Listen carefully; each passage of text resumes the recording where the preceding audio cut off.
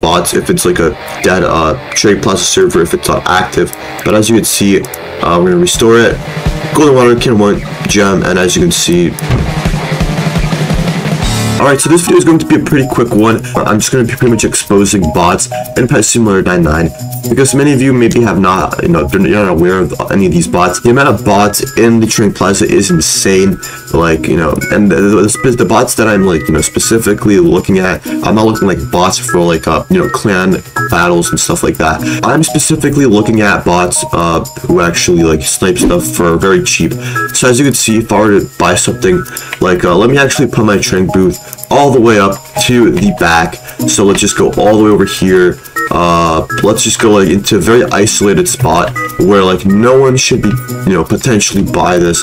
Like if I were to sell something, uh, you know, no one, no one should be able to purchase that. And as you can see, like, you know, there's, you know, different stuff that get purchased.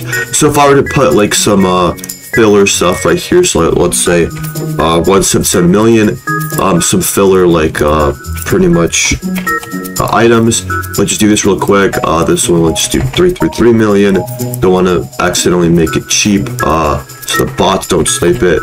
Alright, there we go. We got some filler, uh, like, you know, items here. And now if I were to sell something for, uh, you know, if I were to sell, like, a watering can, let's say, for an example, if I were to sell this for one gem, watch, guys. And so actually, uh, the previous server that I was in actually did not have any bots, which is amazing. But those servers are pretty rare. Um, you'll only really find no bots if it's like a dead uh, Trade Plaza server if it's not active. But as you can see, uh, we're gonna restore it.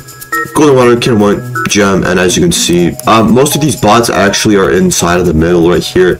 So as you can see, this bacon right here, that's a bot right there. Uh, they're like right in the middle.